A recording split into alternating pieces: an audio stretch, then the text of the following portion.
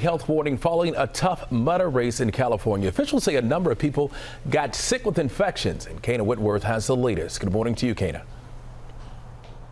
Hey, DeMarco, good morning. The Sonoma County Health Department issuing an advisory now for anyone who competed in the race or even watched the race to see a doctor if they have symptoms of a rash or fever.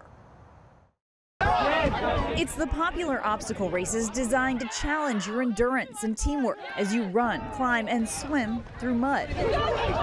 But this morning, more than 70 people falling ill after competing in the Tough Mudder course at Sonoma Raceway in Northern California last weekend. 12 of the 13 people that I went with got this. 24 hours after the race, reports of rash, fever, muscle pain, nausea, and vomiting came flooding into the county health department from some who competed. Aside from the rash, I started to feel like physically ill, um, uh, cold sweats, like a mild fever.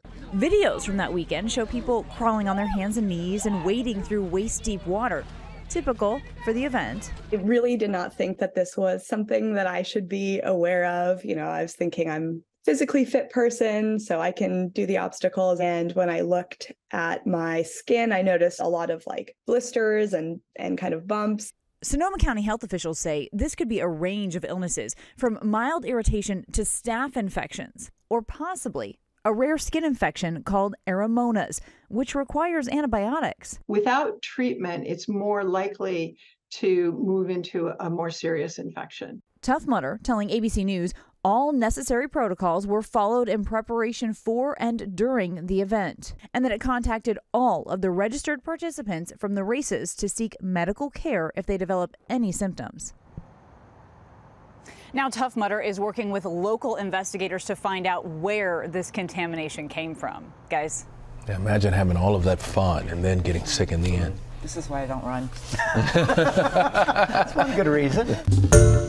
Hi, everyone. George Stephanopoulos here. Thanks for checking out the ABC News YouTube channel. If you'd like to get more videos, show highlights, and watch live event coverage, click on the right over here to subscribe to our channel. And don't forget to download the ABC News app for breaking news alerts. Thanks for watching.